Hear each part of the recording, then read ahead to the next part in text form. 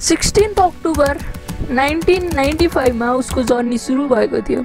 ऊ आफ्नो साइकल लिएर आफ्नो डेस्टिनेसनतर्फ लाग्यो। र साइक्लिङ भनेपछि साइकल लिएर उसले कति लोड बोकेर त? त्यति? नो यति। उसले आफ्नो लागि एउटा छुट्टै साइकल बनाएको थियो र उसले यति लोड बोकेर आफ्नो डेस्टिनेसनतर्फ लाग्यो।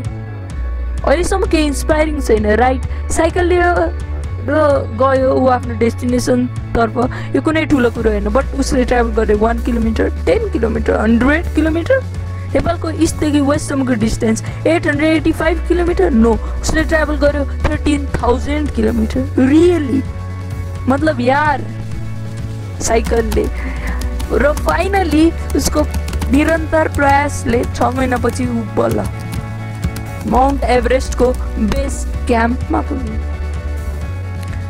र एक्लै गएको थियो आफ्नो सपना लिएर र हामी अरू कोही होइन त्यही गोरन क्रपकै बारेमा कुरा गर्दैछौँ जो एक स्वेडिस एडभेन्चरर एन्ड माउन्टेनियर थिए जो जसले माउन्ट एभरेस्टमा सोलो मतलब एक्लै without oxygen masks without Sherpas without tourist एक्लै जस्ट आफ्नो सपनासँग त गयो नि र फाइनली जुन कुरा कसैले सोचेको पनि थिएन नि त्यो चाहिँ उसले गरेर देखाए। मतलब कसैले सोचेको होला साइकलले थर्टिन थाउजन्ड किलोमिटर कसैले सोचेको होला बिना अक्सिजन मार्क्स माउन्ट एभरेस्ट कसैले सोचेको होला बिना टुरिस्ट गाइड माउन्ट एभरेस्ट एक्लै। बट गोरन क्रपको छुट्टै। Legend is a legend but हामीलाई के चाहिएको छ? हामीलाई हाम्रो ब्रेनले जस्ट चाहिन्छ केही क्षणभरको रमाइलो। त्यही YouTube Facebook WhatsApp Viber imo blah blah blah. त्यस्तै चाहिने नचाहिने कुरामा हामी हाम्रो टाइम वेस्ट गरिरहेको छ। त्यो हामी सबैलाई थाहा छ। र आज एउटा राम्रो काम गरिहालौँ कि मेरो च्यानललाई सब्सक्राइब गरौँ र भिडियोलाई सेयर त गर्नै पर्छ। के भन्नु अब?